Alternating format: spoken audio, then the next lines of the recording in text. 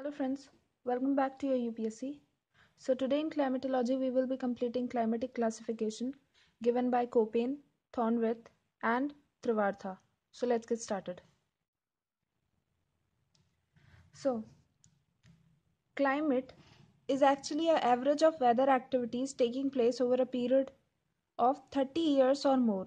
Okay, so all the weather activities when the average is taken of about weather activities of about 30 years or more than that, then this whole average is known as climate. Okay?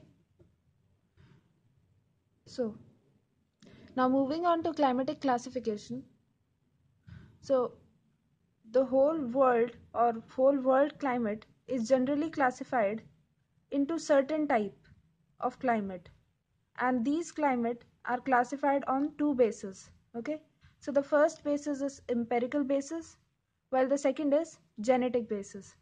So in empirical basis what we do is empirical basis is calculated on we gather a statistical data which we derive through observation and experiments that we do okay? While the genetic basis actually is based on the cause of genesis of climatic phenomenon and variations. Okay?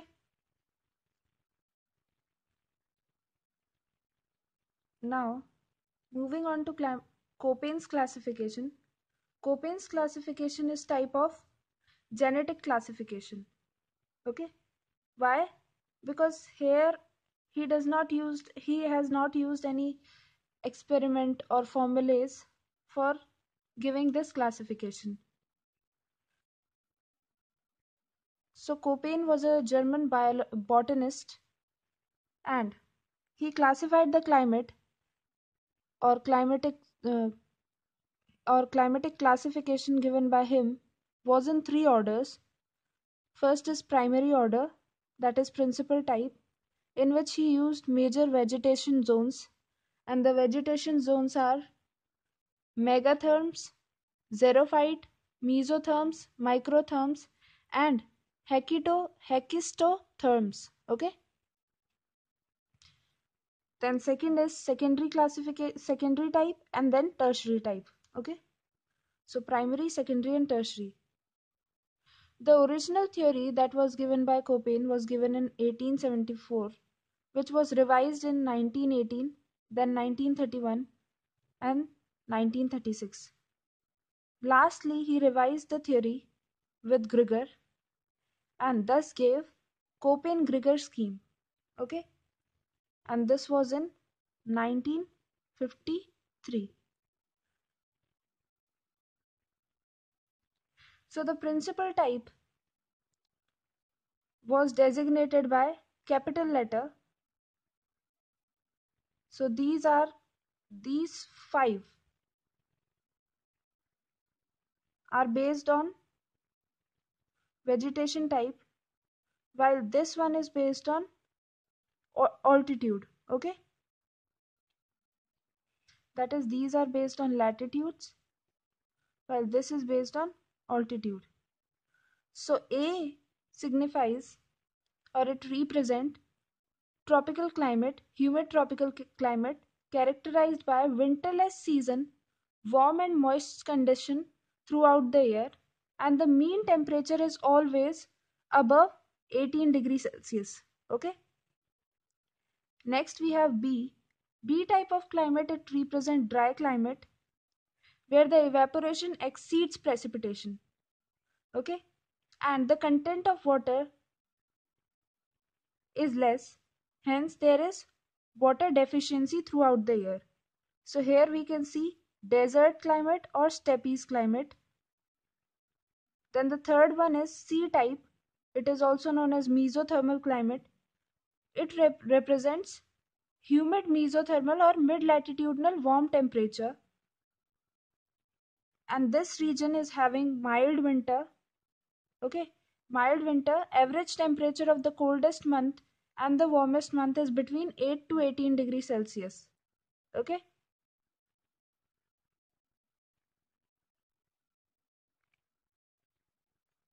Next is our mesotherms.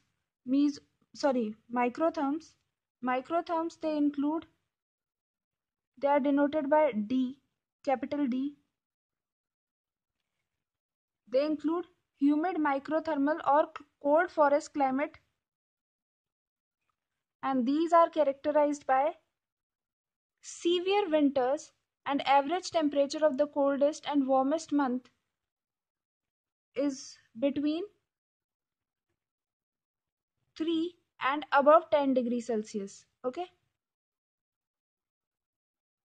But winters sometime are less than 0 degrees celsius also while the warmest month is more than 10 degrees celsius okay? Always. Then we have e type of climate which represents polar climate. It includes polar climatic characterized by a summerless season okay? And the average temperature of wa- warmest month is also below 10 degrees celsius okay? So the average temperature of warmest month will be below 10 degrees celsius. Then we have h. H represents highlands. And this is undifferentiated highland climate. So wherever we find highland h will be representing them okay? So the first order classification was based on vegetation. Now the second order classification is based on amount of precipitation that the area receives. On its basis we can classify this zones into first is capital S. Capital S it represents steppes where annual precipitation is between 360 to 760 millimeters. Then we have W. W it represents dry climate okay where annual precipitation is below 250 millimeters. Now both of them are applied to B type of climate okay next we have T capital T capital F and capital M. So capital T it represents average temperature of the hottest month is between 0 to 10 degrees Celsius. Okay? F it says that average temperature of the hottest month is below 0 degrees Celsius. And M it states that the abundant this area is having abundant precipitation and mild winters okay? So these three categories are applied to E that is polar climate okay? Then we have small w which represent dry dry season in winter okay? So the winters are dry and it is applied to a c and d. Then we have s small s. It it denotes that the summer are dry. So this is uh, applied on capital c while we have small m. Small m it represents monsoon climate okay? So small m represent monsoon climate while capital m represent abundant precipitation and mild winter in polar polar climatic zone okay? So in monsoon we have precipita precipitation above 1500 millimeter and the driest month is in the driest month we are having the temperature uh, sorry the precipitation of about below 60 millimeters okay? And it is applied to a type of climate that is tropical climate. Lastly we have small f. Small f it represents wet climate and here the precipitation occurs in every month. That means there is no dry season and it is applied to a c and d. Okay? Now a is tropical climate. C is mesothermal while d is microthermal okay Lastly, we have third order classification. In third order classification, we have divided into five type that is small a, small b, small c, small d. Okay. These are on the basis of range of temperature. Okay. Then we have H and K. So H represent dry and hot weather. So dry and hot weather, here average temperature is more than 18 degrees Celsius and it represents hot deserts while K we have dry and cold weather or dry and cold climate where the average temperature is below 18 degrees Celsius and it represents cold desert. Okay?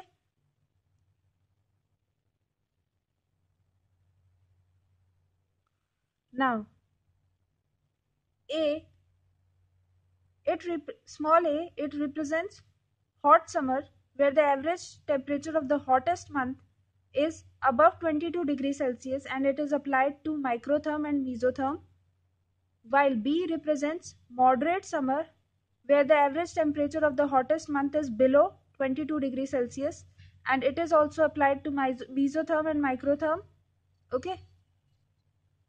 Then we have C. C represents short and cold summer. So short and cold summer here the hottest month is below the temperature of the hottest month is below 22 degrees Celsius while the temperature of coldest month is above minus 38 degrees Celsius okay and the average monthly temperature can range up to more than 10 degrees Celsius. It is also applied to microtherm and sorry mesotherm and microtherm.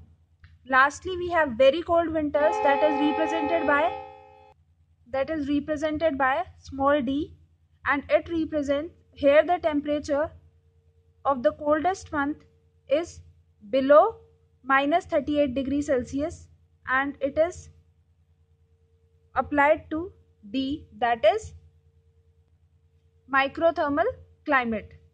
Okay? Now based on this regime given by Köppen we have climatic classification.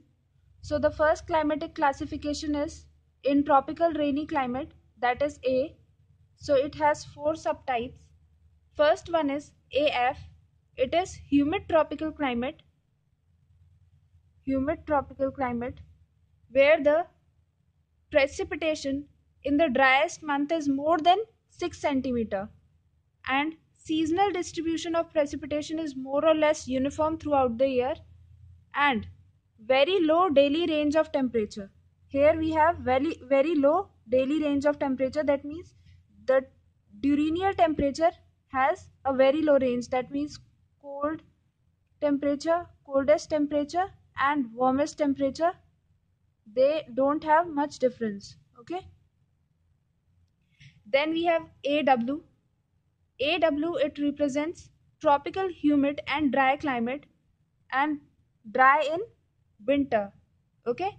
The precipitation of the precipitation here is at least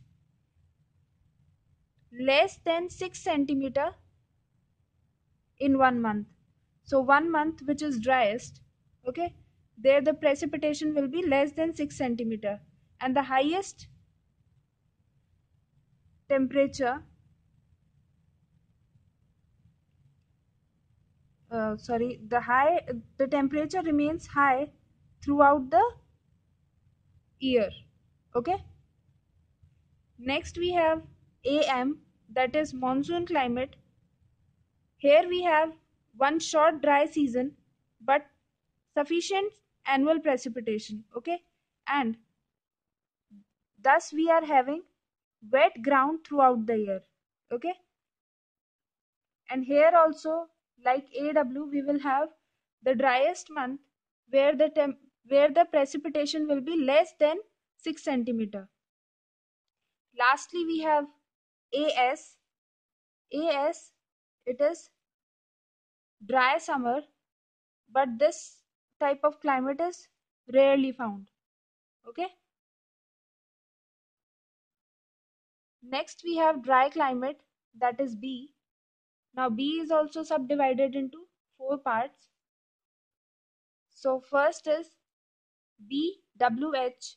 BWH, it represents tropical dry climate where the average temperature is more than 18 degrees Celsius. Then we have BSH. BSH, it represents tropical steppe climate where the mean annual temperature is above 18 degrees Celsius. So this is tropical desert climate.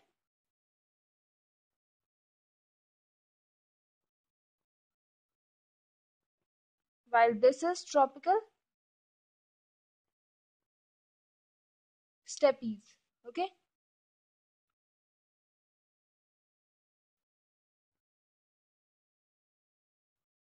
So here let us understand the scheme. See, this is BWK. So B represents dry climate. Then we have W. W it represents desert where the annual precipitation is below 250 millimeters. Lastly we have small k. Small k it represents dry and cold climate. Okay. So now I hope you understand how this classification is done. Okay. So this one is BWK is mid-latitude cold desert where the mean annual temperature is below 18 degrees Celsius.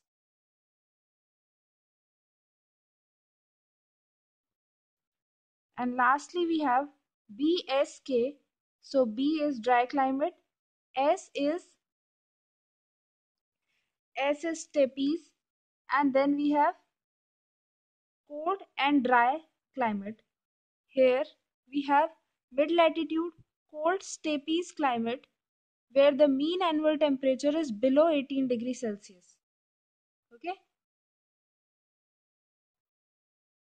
Then we have humid mesotherm climate which is represented by C, capital C. It is further divided into three parts. Firstly, we have CF. CF, we see precipitation throughout the year and the precipitation is more than 1.2 inches even in the driest month of summer. Okay. And this we find in European type of climate. It is further divided into two that is CFA and CFB. So CFA is humid subtropical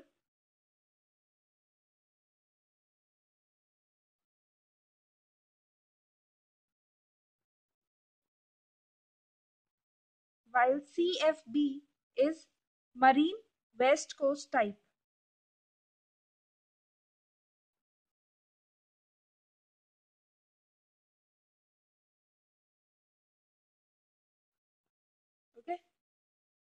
Then we have CW. CW, it represents dry winter and here we have 10 times more precipitation in the wettest month of summer season than the driest month of winter season. So in winter season, we have very less rainfall. Like if cons consider in winter month, we have X amount of precipitation. Then in summer, we will have 10x amount of precipitation. Okay.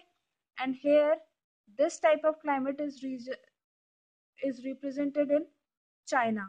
Okay. Then lastly, we have CA. CA, it represents dry summer and here we have three times more precipitation in the wettest month of the winter season than the driest month of the summer season. And the precipitation of the wettest month, sorry, uh, sorry, precipitation of the driest month of the summer season is less than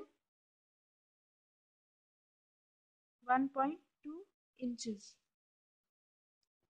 Okay, and this is shown in Mediterranean type of climate.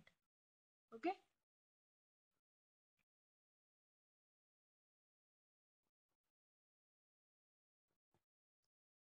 Then we have fifth type that is humid microthermal climate which is represented by D, capital D.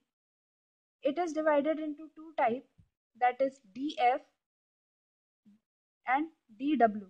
So DF is humid cold climate where there is no dry season. Okay. And it is further subdivided into three that is DFA, then DFB, then DFC. So DFA is continental climate with long cool summer.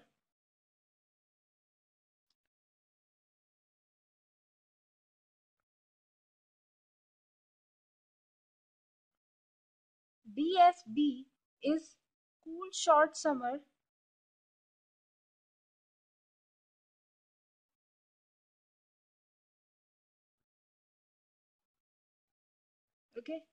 it is in subarctic type. Lastly we have i'm so sorry. I'm so sorry. We have dfa which represents long warm summer.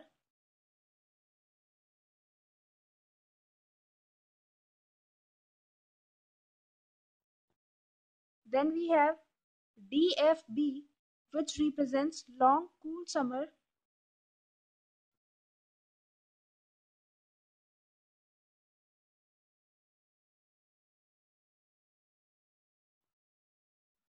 Lastly, we have DFC, that is short cool summer.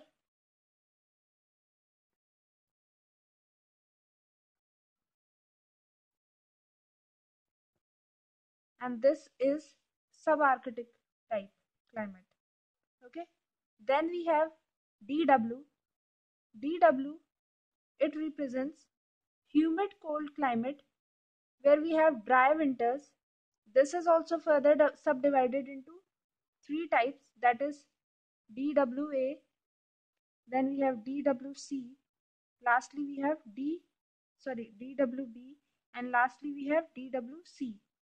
Okay, so DWA, it represents continental climate with long summer.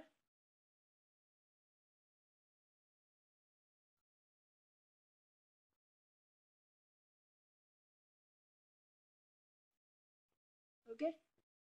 Then we have DBW, which represents cool short summer.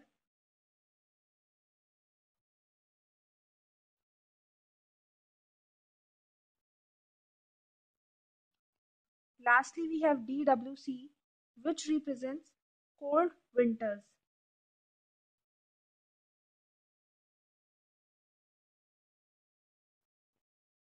Okay. Last type we have polar climate that is represented by capital E and it is subdivided into ET and EF. ET represents tundra climate where the temperature of the warmest month is below 10 degrees Celsius and above 0 degrees Celsius. So warmest month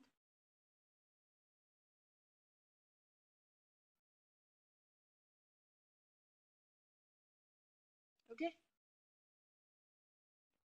while we have EF EF it represents permanent snow field where the temperature of all month is below 10 below 0 degree Celsius.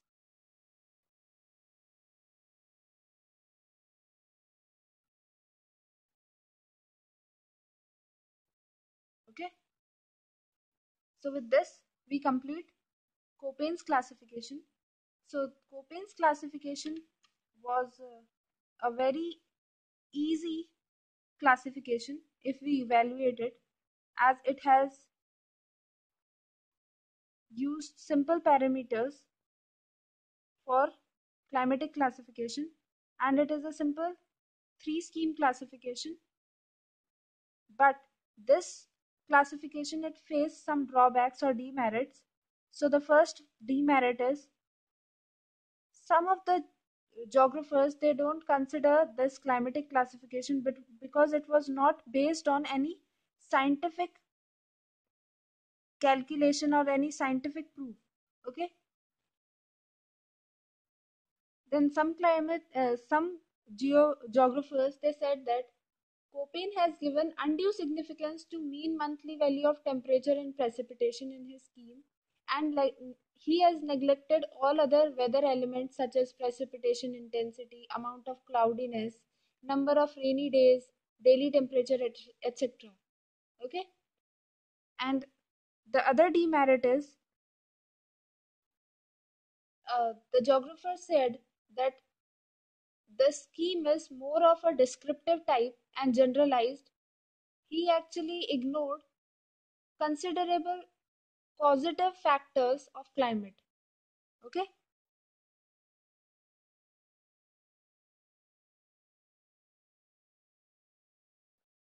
And then one of the merit, it became a demerit, that is, he used three letter classification. So some of the geographers said that the use of different letters symbol to indicate different climatic type and their secondary and tertiary subtype.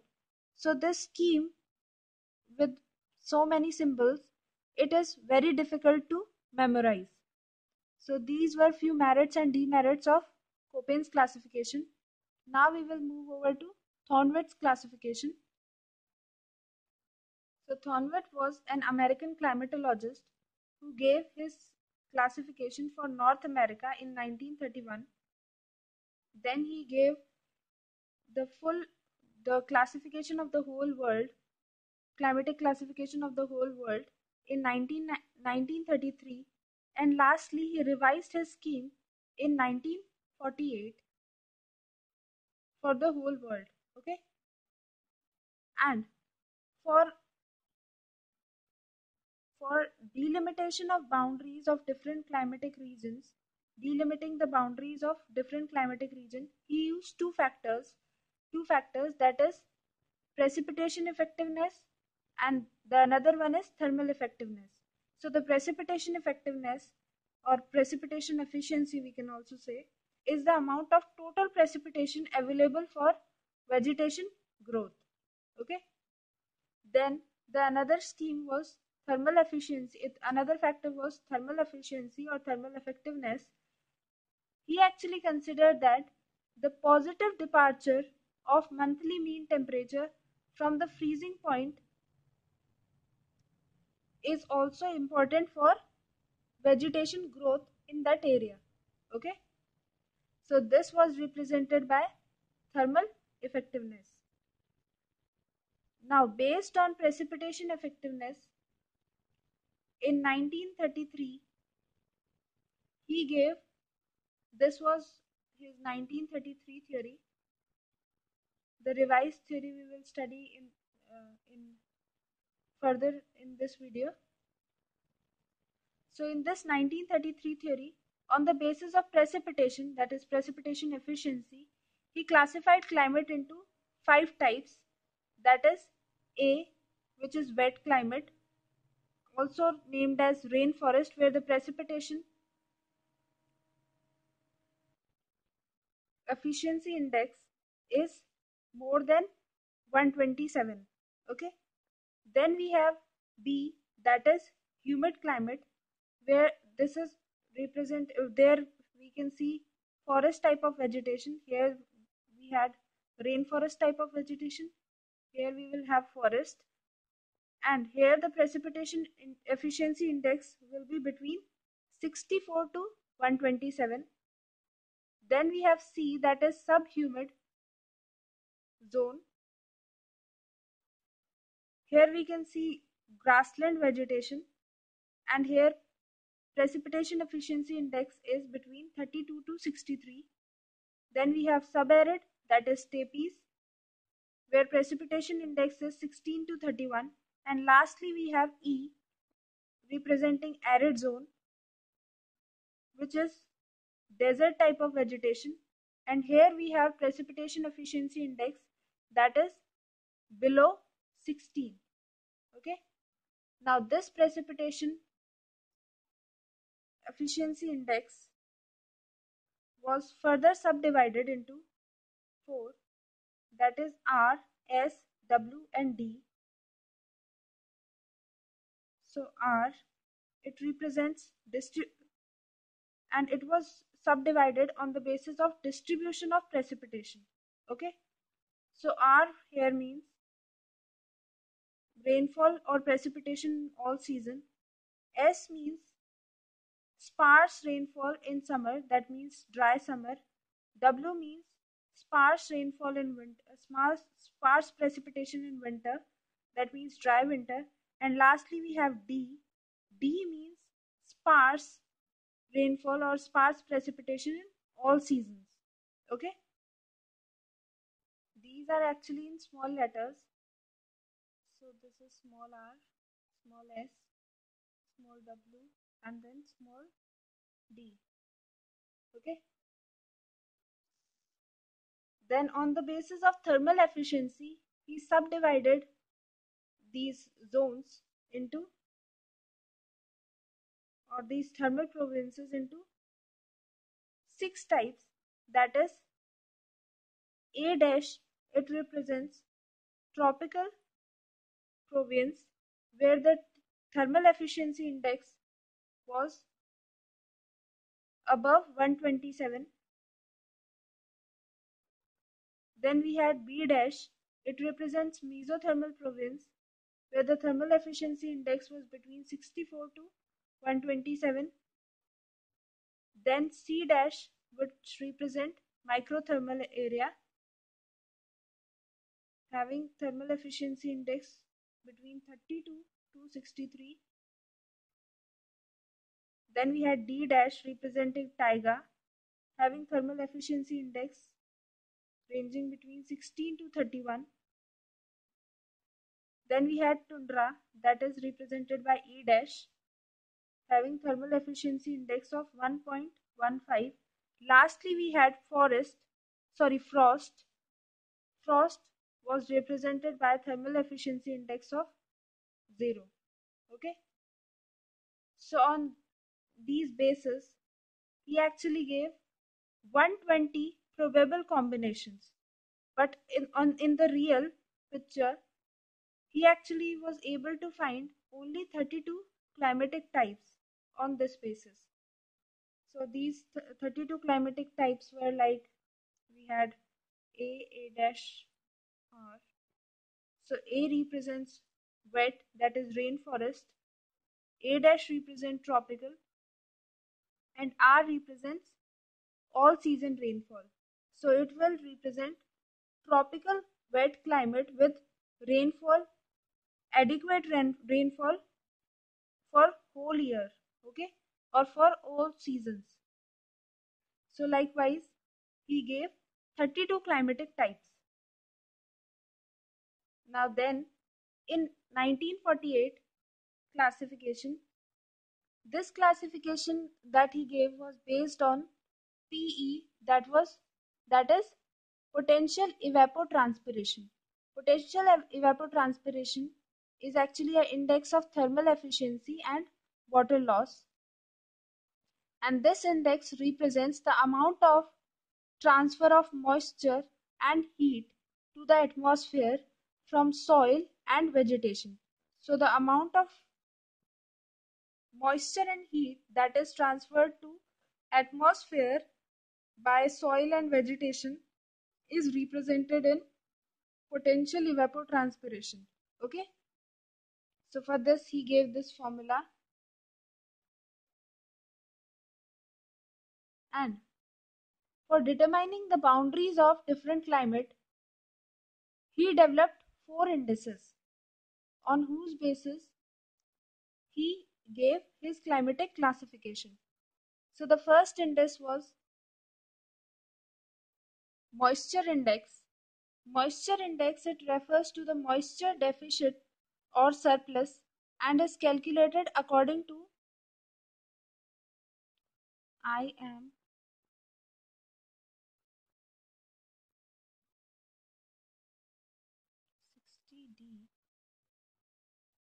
divided by PE, where S is monthly surplus moisture and M is monthly deficit moisture. Okay, so this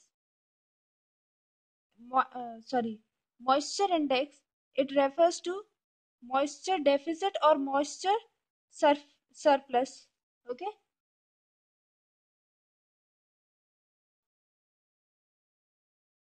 Then we have thermal efficiency index. Thermal efficiency index is simply the potential evapotranspiration expressed in centimeters okay?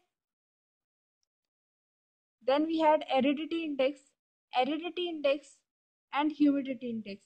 So in aridity index and humidity index aridity index is the it is represented in sorry firstly these indices they are used to determine seasonal distribution of moisture adequacy. Okay? So they determine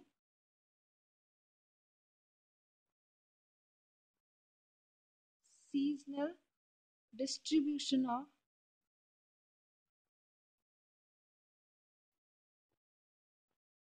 moisture adequacy.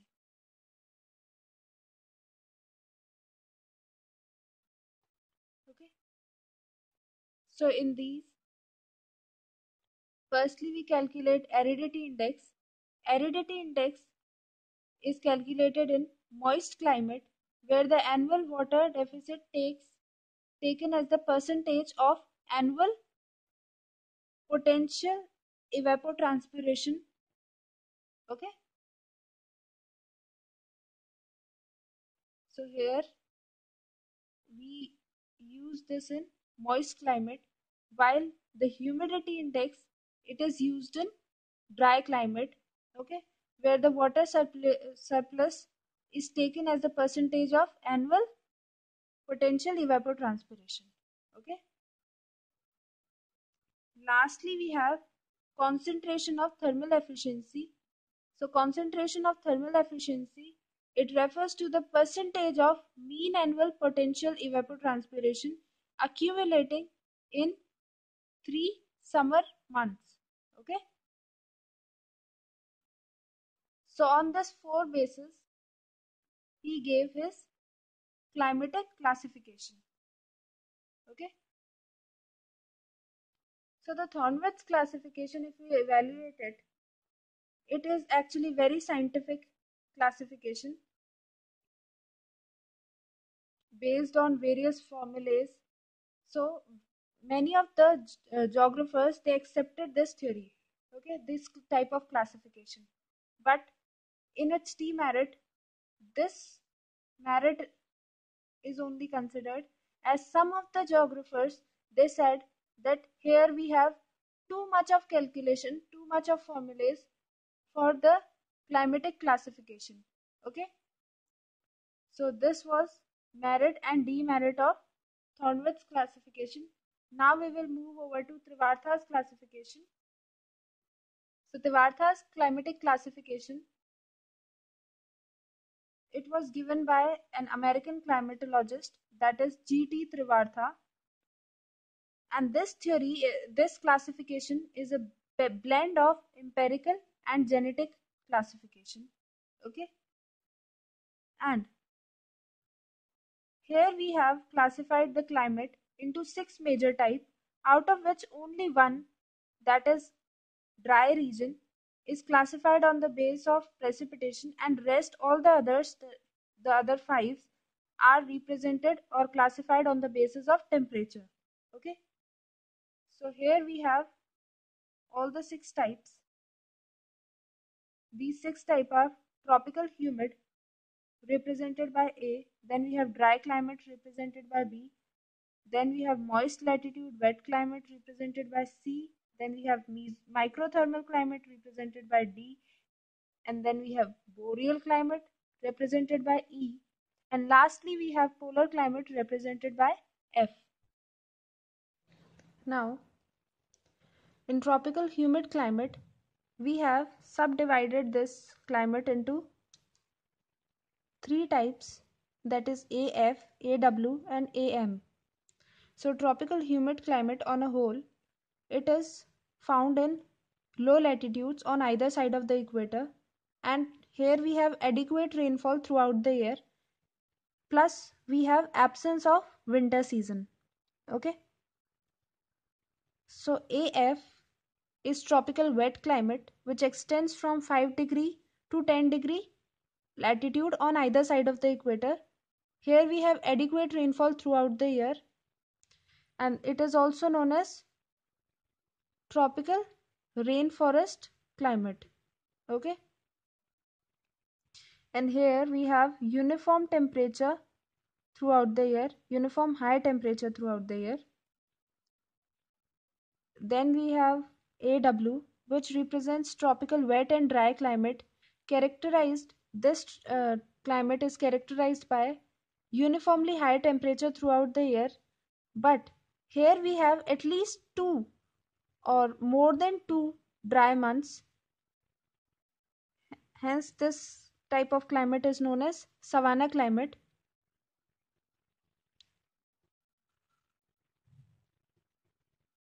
Okay? Which is dominated by so this savanna type of climate is dominated by dry trade winds and subtropical anticyclones or subtropical anticyclones during winter season while during summer season they are dominated by equatorial westerlies and intertropical convergence then we have AM. AM type of climate is monsoon climate which receives more than 80% of rainfall during the 4 month or 4 summer month of monsoon. So during summer months of monsoon it receives total of 80% of rainfall like if we have 100% of rainfall throughout the year so in the 4 months it will receive the whole 80% of rainfall okay now we have dry climate represented by V, B, sorry. So the boundaries of dry climate have been determined on the basis of precipitation variation as we know that I've told you. Okay. So it is this climate is characterized by high evaporation, loss of moisture through evapotranspiration exceeding the annual receipt of water gain from precipitation.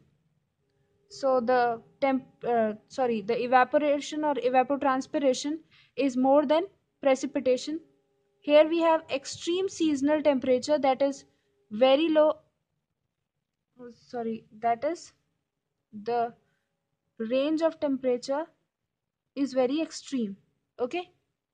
Then we have very low and highly variable annual precipitation with extremely low relative humidity and abundant sunshine and clear sky okay? So this dry climate is subdivided into four types. First we have bwh bwh is subtropical hot dry climate hot desert climate. Then we have bwk bwk is mid latitudinal or temperate boreal cold dry climate. Okay. Then we have bsh bsh it represents tropical or subtropical steppes or semi-arid climate while bsk it represents mid-latitude or temperate or boreal steppes climate okay? Now we have mid-latitude wet climate represented by c. Here actually in the coldest month we can see 18 degree isotherms at the equator side okay? At the equator world boundary of the sea climate okay so the areas having sea type of climate that is mid latitudinal wet climate so the area which are near or which are having low latitudes will be having 18 degrees celsius of temperature in the coldest month now these type of climate, this mid-latitude wet climate is subdivided into three that is CS.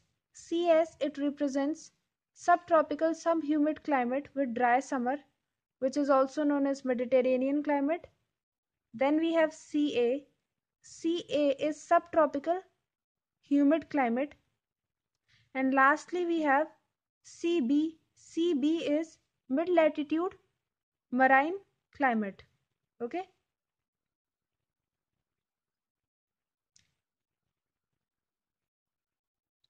so cs we can see it is fine we can find it on the western side of the continent on tropical margin of the mid latitude. It is affected by subtropical anticyclonic conditions in summer and by the wet, westerlies in winter. Then we have ca ca is it is located on the eastern side of the continent and it receives precipitation in all season but the summer month receives more rainfall than the winter month. Okay this is china type of climate. Lastly we have cb cb is affected by westerlies throughout the year. Okay? Then we have microthermal climate represented by capital d. This microthermal climate is found in the area of high mid latitudes. Okay high middle latitudes which are affected by westerlies in summer and by polar winds in winter. So on the poleward and equatorward boundaries we have average temperature of 10 degrees celsius for 4 months in the poleward side and for 6 months in the equatorward side. Okay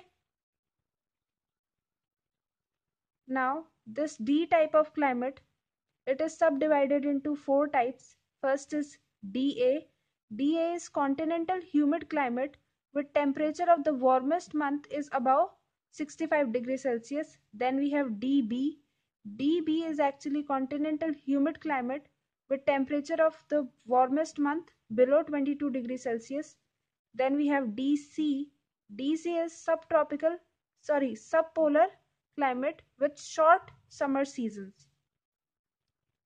Lastly, we will have DD, where the temperature of the coldest month is less than minus 38 degrees Celsius. Okay. Now we have boreal climate. Boreal climate is located in the high middle latitude and is characterized by a short and cool summer season and long and very cold winter and there is very short frost free season which ranges from 1 to 3 months of year having and these 1 to 3 years 3 months of a year they are having average temperature of 10 degrees celsius or more. Okay?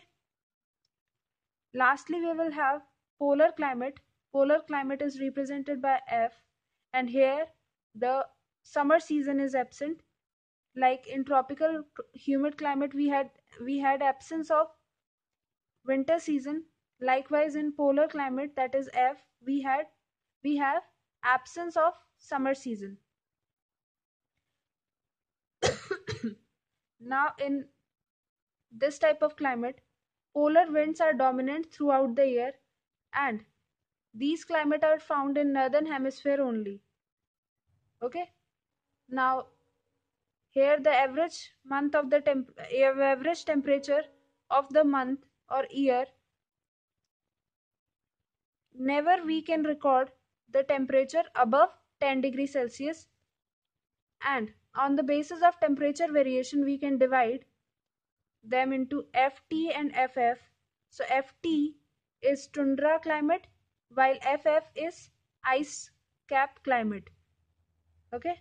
So ice cap climate is snow covered throughout the year where the temperature range is below 0 degrees Celsius throughout the year and here it is 0 to 10 degrees Celsius.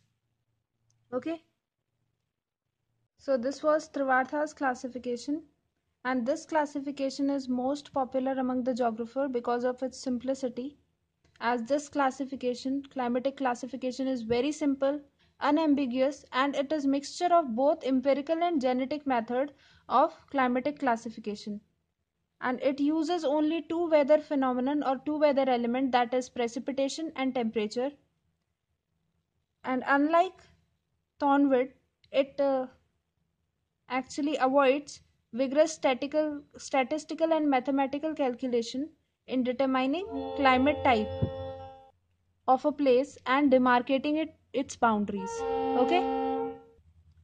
This scheme or this Trewartha's classification it also included the effort of land and water surface in on the climate or effect of land and water surface on the climate of an area okay? So this was the drawback of uh, of Köppen Köppen's classification and Thornthwaite's classification which Trewartha tried to remove or eradicate. Okay? So this theory was given by Trewartha. And with this we complete our climatic classification. So that was all for today guys. I hope you enjoyed today's lecture. So let's meet in our next class. Till then take care and have a nice day